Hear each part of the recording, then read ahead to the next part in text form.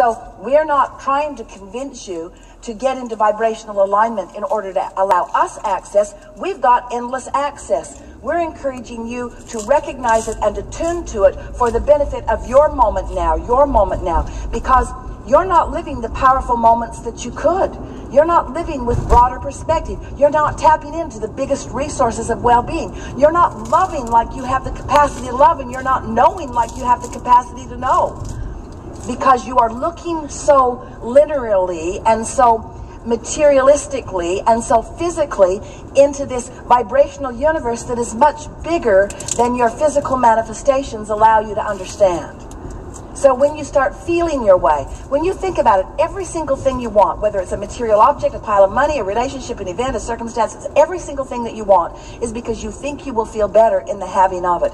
So you understand at some level that this is an emotional world and that it's all about the moment in time in which you can feel wonderful. And so here we are presenting to you that all of this non-physical energy is focused with you and it makes it easier when someone that you know and love has recently made their transition and now is focusing in a stronger way.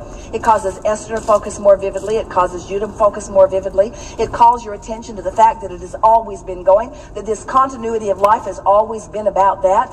You keep thinking that the continuity of life is about you're born and then you do stuff and then you die and then you're not here and then you're born and then you do stuff and then you reemerge into non-physical. And there is a continuity that is more steady and constant than that. There's no gap in the life that any of us are living, you see.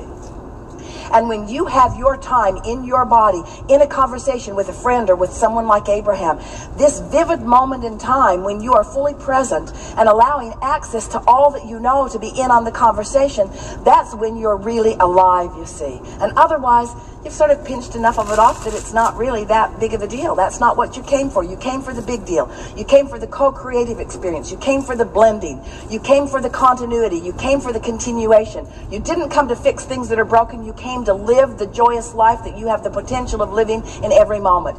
You are like the little kids that know it. They want to go from one fun thing to another, to another, to another, to another, don't they? Do they ever see any reason to end the fun?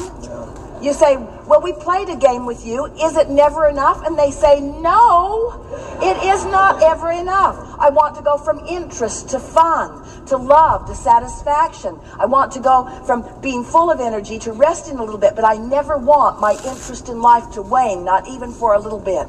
And oh, I'll sleep every now and again, and I'll withdraw my consciousness. But the moment I'm back into consciousness, I want to be in my body. I want you to be in my body. I want the fullness of who I am to be active and present in this moment.